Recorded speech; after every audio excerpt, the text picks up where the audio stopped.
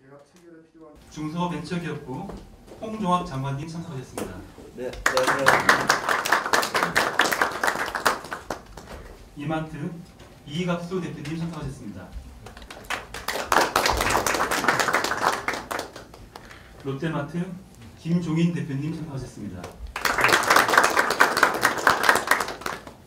홈플러스 임일순 대표님 참석하셨습니다. 시중에서 이것이 어, 대기업에 대한 강요가 아닌가 하는 오해가 있는데 어, 절대 그렇지 않다는 것을 다시 한번 정부가 어, 대기업과 납품업체가 대등한 관계에서 제값을 주고받는 문화를 정착시키기 위해서 노력하고 있는데 어, 이런 것들이 어, 저희는 어, 단기적으로는 대기업에게 좀 부담이 될지는 모르겠지만 어, 장기적으로는 대기업의 경쟁력을 높이는 방안이라고 생각해서 협조를 부탁드리고 있습니다. 설명을 해주시기 바랍니다. 설명을 하시고 나서는